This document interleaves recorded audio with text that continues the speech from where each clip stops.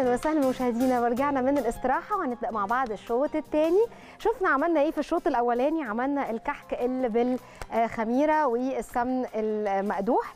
تعالوا بقى دلوقتي نعمل مع بعض الكحك اللي بال baking powder على البارد. آه قبل ما أقوله خلينا نقول الأول حشو العجمية. حشو العجمية عندي معلقتين كبار من الدقيق. عندي ثلاث معالق من السمن. عندي معلقة كبيرة من السمسم المحمص.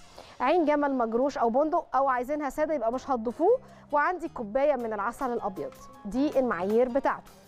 نقول تاني. عندنا كوباية من العسل الأبيض. عندنا آه معلقة كبيرة من السمسم دي اختياري.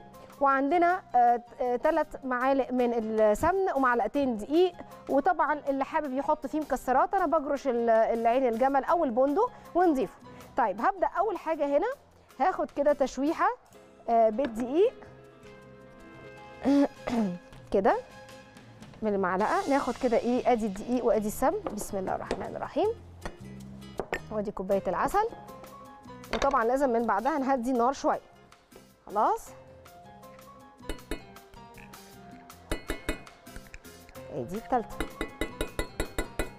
طيب عندي هنا للدقيق.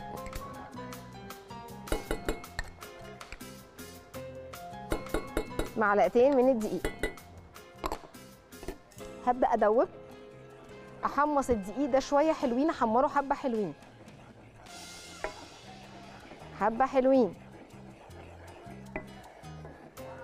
كده؟ حبة حلوين. ممكن أحط نص معلقة كمان. أنا مليت معلقة ومعلقة تانية كانت مش مليانة قوي يبقوا كده معلقتين هرميتين من الدقيق. ثلاث معالق من السمن هنقلب بقى تقليبة حلوة كده. كده؟ وهنبدأ بقى إيه أول ما يبدأ يغلي أو يعني تتحمص شوية عشان ريحة الدقيق الني دي تطلع. هنبدأ ان إيه نصب العسل بالراحة ونهدي النار شوية لحد ما يستوي. خد له بتاع 10 دقائق ولا حاجة لحد ما تستوي. طبعا مش هقدر أستخدمها على طول لازم إن أنا أبدأ أصبها في طبق أو في بولة وأسيبها تهدى وتبرد وبعدين أبدأ أتعامل معاها. كده تحميصة حلوة. أنا ساعات بحب أدي الدقيق نفسه لون شوية. فيبقى كمان هو متحمص معايا وطعمه جميل. تعالوا كده نحط معلقة السمسم معانا برده اهي. ومعانا هبة. ألو. السلام عليكم. وعليكم السلام. أهلا وسهلا. كل سنه وأنت طيبة مبروك على. البرنامج الجميل ده. الله يبارك في عمرك حبيبتي جميل تسلمي. ما شاء الله والذكور جميل وإعداد جميل وكل حبيبتي. حاجة جميلة. وأنت منورة الشاشة كلها ما شاء الله. الله يسعد أيامك. حبيبتي تسلمي لي يا رب. تسلم إيدك على الكحك الجميل ده حلو جدا ما شاء الله. حبيبتي. أنا على فكرة الكحك بيطلع مني ناشف على طول يعني. ما إحنا لازم نلبسه عارفة. حلو. وبعدين السوائل مهمة قوي نسبة السوائل عشان لو زادت بينشف. تمام إن شاء الله تظبطيه وجربي معانا وإن شاء الله هتظبطيه بإذن الله. معلش كمان البتيفور البتيفور معايا بقى بيطلع إيه يعني؟ بتعمليه بزبدة ولا بسمنة؟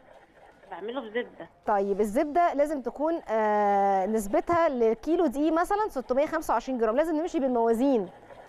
تمام ولازم تكون يعني ساقعة. أنا ساعات أنا بعمل بعير بالكوبايات بصراحة يعني لا. بعيرش بالمعايير لا عايري بيها ده الميزان والله إحنا جايبين ميزان جميل قوي ومش غالي والله جميل عايزة أوريهولك لو كان هوريك في الفصل اللي جاي جميل جدا جيبيه. ووزني عليه على طول ما شاء الله يعني حاجاتك كلها جميلة والديكور حلو قوي قوي حبيبتي. بتاع حبيبتي اتفضلي.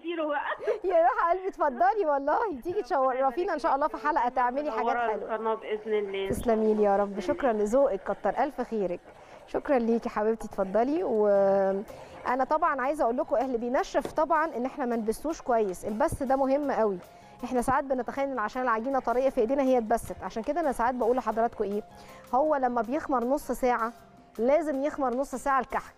الكحك اللي أنا عملته قدام حضراتكم ده ما ينفعش أشكله دلوقتي على طول. لازم أسيب كحك الخميرة والسمنة المقدوحة يمسك نفسه نص ساعة يخمر. وبعدين أبدأ آخد منه وأحشي وأجمل عشان تاخد شكل الكحكاية المظبوط. لكن أنا الوقت عندي طبعا شوية يعني صعب فأنا عايزة ألحق أقول لحضراتكم كل المعلومات. تمام؟ آه دي مهمة. ثانيا في ناس ممكن تجرب تاني في البس يعني أنا دلوقتي سبته خمر ممكن أجي ببطن إيدي بالعجينة وأعملها كده على الرخامة بس أديها تنعيمة كمان تاكيدا لو أنا حسيت إن أنا ما بستوش حلو وقت ما كان بالسمنة. طيب بصوا بقى بدأ ال- ال- الدقيق ياخد لون كمان كده. هنزل بقى بالراحة كده بالعسل. الأبيض. أهو. حبيبة قلبي. بصوا كده لحد ما تعمل معانا الإيه نخلط العسل مع الإيه مع الجمال ده كله. هتبدأ تربط معانا. أهو شايفين؟ شايفين كل الكميه تنزل. وطبعا أهم حاجة المعالق الخشب في العسل عشان تاخدوا فايدته. لو استخدمتوا حاجة معدن بتروح الفايدة بتاعته. للناس اللي بتحب تاخد عسل على الريق أو تستخدم العسل الأبيض. طبعا ليه اللي هي بتاعة العسل دي الخشب؟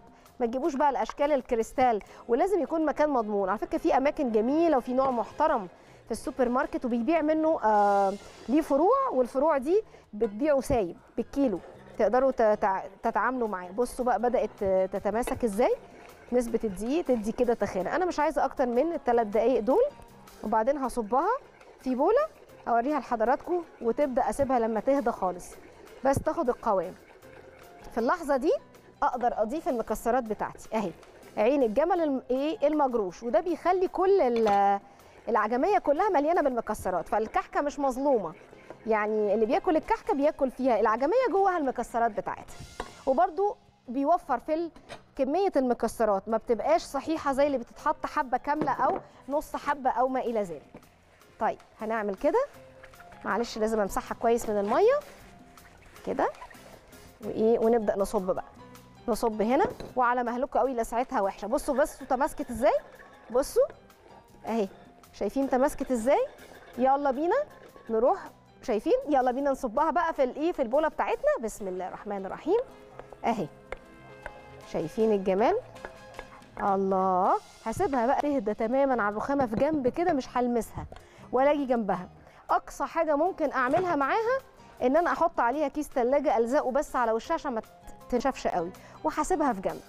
أنا هنا مجهزة منها شوية. أهي في منه بال... بال... بالعين الجمل أهي والسمسم. آه وفي منه شوية من ال- ال- الايه الملبن اللي إحنا عملناه قلنا الملبن أهو وأدي الحشوة بتاعته على البارد عملناها مع بعض في الشوط الأولاني.